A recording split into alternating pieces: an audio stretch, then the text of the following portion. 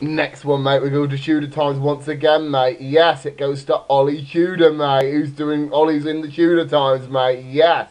So, like, proper decent shout to you, Ollie Tudor, mate. Don't get on the wrong side of him, mate, because he's Tudor, mate. And I tell you something, mate, in Tudor Times we had Emma the 8th, mate, and all that, mate.